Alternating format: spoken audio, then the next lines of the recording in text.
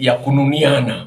Swali la kwanza nimelipa kichwa cha habari kinachosema mapenzi ya kununiana. Dokta, naitwa Patrick toka Endasaki, Manyara.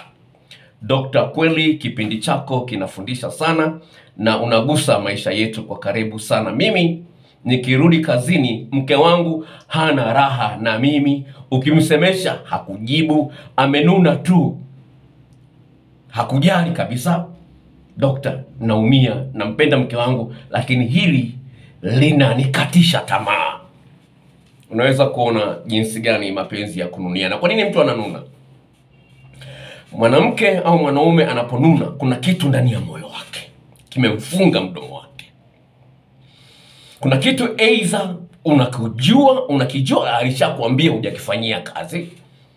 Tafana alikwambia sitaki uendelee kuwa na mawasiliano na Jennifer au mawasiliano na George, lakini wewe unaendelea naye kwa siri. Kuna kitu anacho ndani ya moyo wake, lakini ukijui, humridhishi kwenye tendo la ndoa, humpatii mahitaji ya kutosha. Sawa. Sasa ananuna kwa sababu gani? Ameanzisha mkakati wa yeye aachwe. Sawa, anaona kwamba kuendelea na wewe hana faida, na si ajabu ana mchepuko. Kwa hiyo anafanya vituko ili wewe umwache, onekana wewe ndio ulimwacha, sio yeye amekuacha. Kwa hiyo utampiga ili aseme kwa nini unanuna, kwa nini ananuna, utamfanya nini, lakini akikimbia atasema alinipiga ndio maana nimekimbia. Na napata message nyingi sana kutoka kwa wasikilizaji, mke wangu kaenda kwao, hataki kurudi. Huu mwezi wa nne hajarudi toka ameondoka mwezi wa kwanza tarehe sita mpaka leo tarehe sita mwezi wa wa tano hajarudi, miezi minne imepita.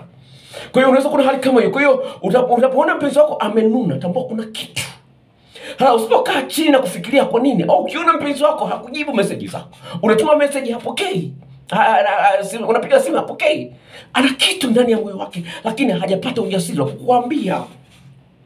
Kwa ni wajibu wako kuta, ku- ku- kuchimba kitu gani nimemkosea. Hebu fikiria, kwa mfano mmoja, dada huyu ana, ana, ana, nini, sana, kaka huyu ananipigia simu anasema, dokta, mpenzi wangu kabadilika sana, kabadilika sana sana amekuwa jeuri, amekuwa mbishi. Namwambia ushauri unalipia shilingi elfu tano alafu nalipa niongee na huyo mhusika. Sawa, akasema kalipa shilingi elfu tano naongea na mhusika. Mwanamke anasema kwamba dokta, mwanaume gani mwaka wa pili hajawahi kuninunulia hata nguo? Unaweza kuona mwaka wa pili hajawahi kununulia hata nguo. Mwanaume gani? Dada mwingine anasemaje, dokta, huyu mwanaume ukimwomba buku tu maswali mengi kwa unaweza kuona. Kwa hiyo kuna vitu anaviweka vidogo vidogo, anaviweka, nafikia hatua anaona ah, kuna faida gani ya kuendelea na huyu mtu. Vitu vile unaona unaona unaona unaona unaweza kuona kwamba ni kidogo, eh, sawa, wewe unakiona ni kidogo, lakini mwenzio anakiona kikubwa. Kwa hii itakuletea majanga, ndio hayo mapenzi ya kununiana. Kwa hiyo mtu hakununii kwa sababu amenuna tu, mdomo wake ume, ume, umekwama kama vile gari imekwama kwenye matope. Kuna kitu lakini ameshindwa kukuambia hichi kitu.